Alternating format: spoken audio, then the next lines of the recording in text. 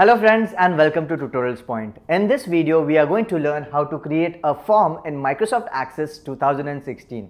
Now, whenever I open Access and if I go to the Create tab, under the Create tab, when I go to the form design, you can see there are so many options to create a form.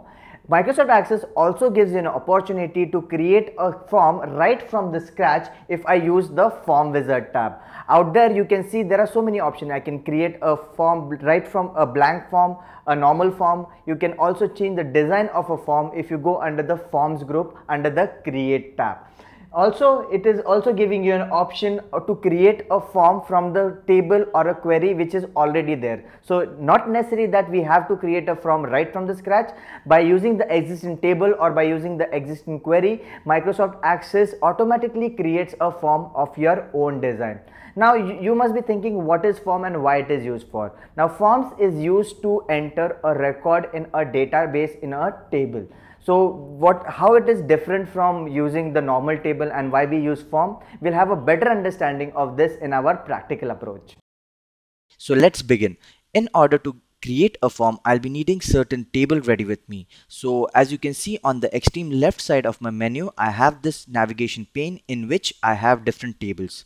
I can select any random table and create a form for the same. So this time let's select this orders December table.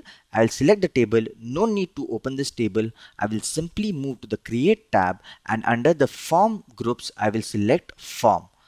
The moment I click on form you can see all the field list from the orders December table. Let me open the order December table so that you can get a better understanding. I will simply double click on this. Now as you can see all the product types, product name, sales unit and rest of the field can be seen out here. Similar, the same field can be reflected out here as well, right? So this is my form view. Now, if you wish to add certain uh, more uh, fields to this, I can simply go to the design tab and under the design tab under the tools group, I will click on add existing field. Now, as I have all the desired field list from my order December table, uh, I need not need to add any but let's say that I want to pull data from a different table right? So as you can see on the bottom of my screen I have different tables out here. I will just minimize this. So I have all this table and if I wish to add any of this field from this table to my form I will simply double click on it. Uh, I need not need to add any of these fields in my table so I'm not doing anything. I'm not selecting any of the field. I'll just simply close it.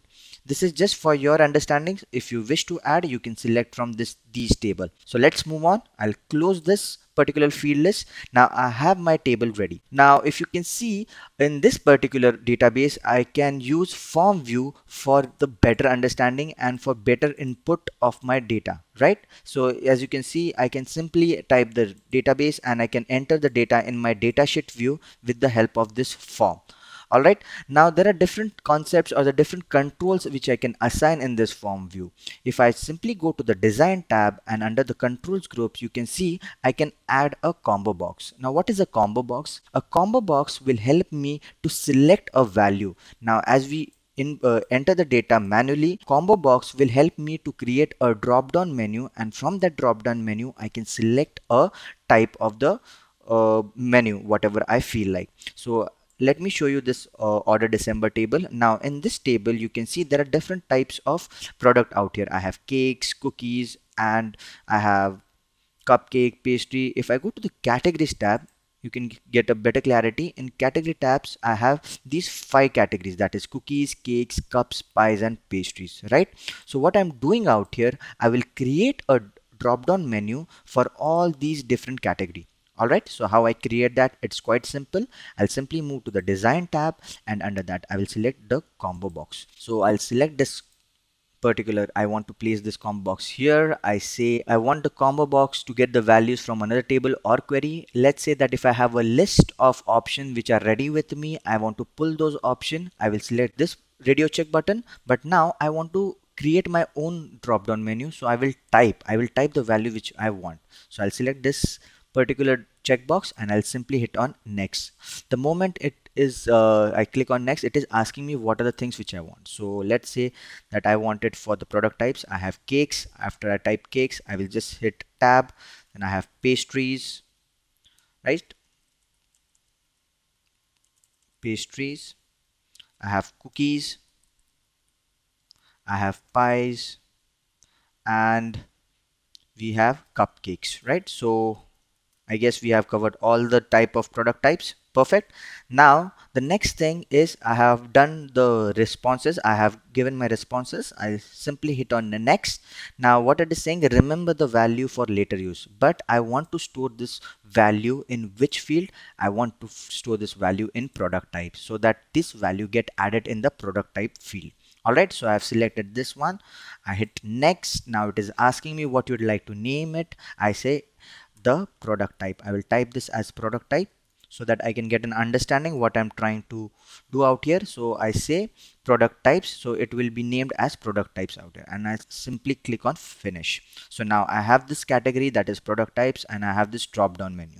Now in order to test this let's see how it is tested. Now in order to test this form I just simply go to the form view. So I'll click on form view. Now I have my product type. If I go to this drop down menu now as you can see I have all the list of entries that I have made and I can simply click on it rather typing it again and again. Now I don't need this particular feature feature. So I'll just simply select this.